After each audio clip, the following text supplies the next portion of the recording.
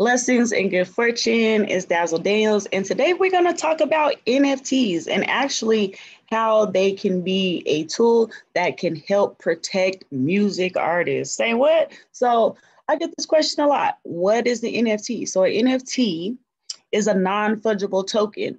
And so they're digital pieces of content. So it can be music, it can be pictures, um, short videos, um, but they're on the blockchain and they are linked to cryptocurrencies like Bitcoin and Ethereum.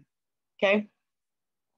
So what it is basically is like a digital certificate of authenticity. It means it can't be altered and it can't be broken up, like divided, right? Right. And I mean, NFTs are the newest things since shoestrings. You have all kind of things popping up right now in this arena.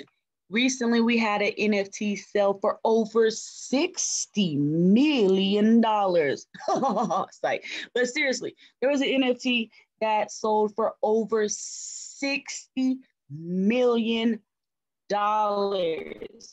And so now, of course, everybody would like to have their own um, NFT. You got the Kings of Leon, put out an NFT, and I think you got like a yeah, you got a vinyl album and front row seats to the future concerts with their NFT.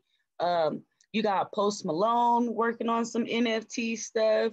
You got Tory Lanez, who's um, released his unreleased music um, and turned it into an NFT. So why are NFTs so important when it comes to the music industry? Drum roll, please. Masters. A lot of artists make music, but they don't own the music that they're make, right? They're not reading the fine print or they're hurrying up to sign a deal just to get the upfront money, which you eventually have to pay back. Okay. Okay. So that is actually the most things um, that is important when it comes to music is being able to own your masters. And a lot of artists just quite frankly don't. So they don't own their music. They're literally singing uh, someone else's property. So masters are like your original, um, your original form of your music. Just so like if you were tokenizing or turning your music into an NFT, it'd be your original NFT, right? Right. Well, look what's going on. Let's just look at some things like going on.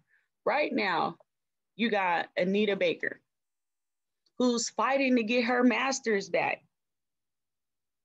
That is some sad stuff, right? Right. Um, there has been this, this issue with tons of artists, and that is why NFTs can actually help prevent this because it's literally digitizing your music and it, it you're, that's where the masters is. It comes from turning it into an NFT. And every single time that it's sold, guess what? Lifetime royalties. Yeah, lifetime royalties. When you turn your music into an NFT. So that's why um, we're actually going to be teaching a master class to show you how to create your own NFTs. Just one of the many reasons and benefits. But imagine not having to go through any of this. And it doesn't require any permission or any legal battles with any music industry. You can release your music and instantly own your masters because you have a digital certificate of authenticity. And every single time that your music is resold. And there are even ways that every time it's streamed, that you could be getting compensated for life.